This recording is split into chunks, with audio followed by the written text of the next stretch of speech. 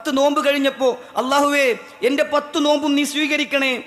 പതിനഞ്ച് നോമ്പ് കഴിഞ്ഞപ്പോൾ ഇരുപത് നോമ്പ് കഴിഞ്ഞപ്പോൾ അള്ളാഹുവേ എന്റെ നോമ്പ് സ്വീകരിക്കണേ എന്റെ തറാവീഹ് സ്വീകരിക്കണേ എന്റെ ഖുർആൻ പാരായണം സ്വീകരിക്കണേ എന്ന് നമ്മൾ പ്രാർത്ഥിച്ചിട്ടുണ്ടോ?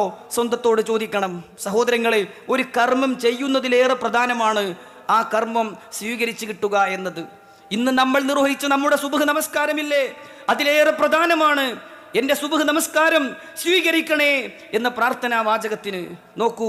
അലീബിനു അബി ത്വാലിബ് റലി അള്ളാഹു എന്ന് പറയുകയാണ് കൂനു ലിഖബൂലിൽ അമലി അശദ്ദ മിൻ ബിൽ അമൽ. ഒരു കർമ്മം ചെയ്യുന്നതിലേറെ ആ കർമ്മം സ്വീകരിക്കാനുള്ള പ്രാർത്ഥനയ്ക്ക് പ്രാധാന്യം കൊടുക്കണേ. അലി റലി അള്ളാഹുവിന് പറയാണ് ഒരു കർമ്മം ചെയ്യുന്നതിലേറെ പ്രാധാന്യം.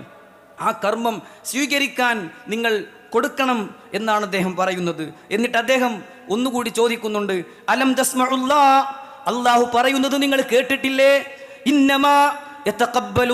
മിനൽ മുത്തഖീൻ. അതീവ സൂക്ഷ്മതയുള്ളവരിൽ നിന്ന് മാത്രമേ അള്ളാഹു കർമ്മങ്ങൾ സ്വീകരിക്കുകയുള്ളൂ.